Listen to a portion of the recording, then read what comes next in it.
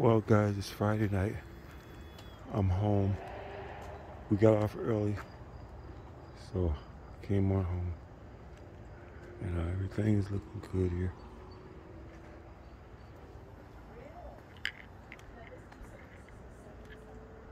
This is my lights outside and everything. My yard looks good. Nice coming home to a nice yard. It looks good and everything.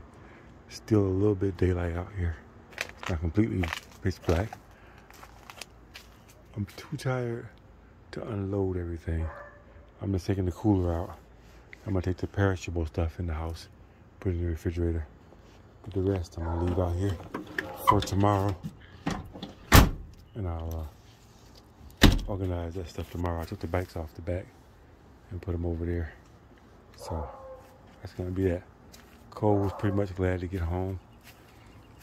I stopped at Wendy's and got a couple of things to treat myself. But anyway, that's it. So, like I say, I'm back home. And the house didn't burn down or nothing. Everything looks good. And I had a good time. Anyway, let me take a look around here and make sure everything is good. And my plants really are growing nicely. Really are growing nicely. This really looks good.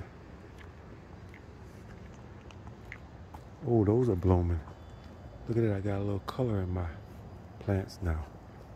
Look at that, ain't that nice? Yeah. Okay. I think I hear fireworks. But anyway, thanks for watching, guys. I'll see you on the next one. I'm just glad to be home. Like I say, camping is fun, but I love having a house, having a home to come home to. It's a beautiful thing. Anyway, see you guys on the next one.